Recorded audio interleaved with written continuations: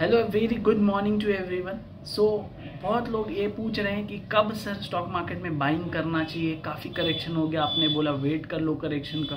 तो हम लोगों ने आपकी बातें फॉलो की वेट किया। कुछ लोगों ने नहीं किया, कोई बात नहीं नेक्स्ट टाइम कर लीजिएगा। सो व्हाट इज़ नेक्स्ट कब करना है? याद रखिए फ़र्स्ट वेव में भी आप लोग को ये मौका दिया था बाज़ार ने, लेकिन आप लोगों ने इन्वेस्ट नहीं किया। फिर काफ़ी रिग्रेट हुआ कि नेक्स्ट करेक्शन में करेंगे। सेकेंड वेव आया, उसमें भी आप लोगों ने इन्वेस्ट नहीं किया, आपने वेट किया कि अगली करेक्शन पे करेंगे। अब देखिए, ऐसे करके बार बार तो कोरोना नहीं आएगा। सो एक आपके पास शायद फाइनल अपॉर्चुनिटी है ओमिकॉन के नाम पे, ठीक है ना? ऐसे तो बुरा है बट बाज़ार के लिए यही एक अपॉर्चुनिटी है। मार्केट वापस से गिर रहे पब्लिक वापस से बेचेंगे।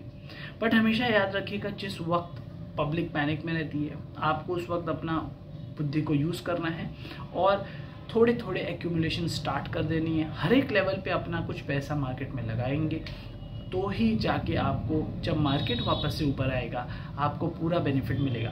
क्योंकि वापस यही होगा कि मार्केट ऊपर एक और चला जाएगा। एंड आप वहीं रिग्रेट करोगे कि, सर, मैंने इन्वेस्ट नहीं कर पाया। वापस से एक करेक्शन तो क्या वापस से एक नया वेव आएगा? ऐसे करके बार बार लाइफ टाइम तो नहीं हो सकता ना। So you have to be ready और for the right time and कोई भी एकदम ऐसा नहीं वेट करो कि यही एकदम परफेक्ट टाइम है। कोई भी टाइम है, उसी को राइट टाइम बनाइए और उसमें अपना इन्वेस्टमेंट स्टार्ट करिए and keep investing and keep earning bye bye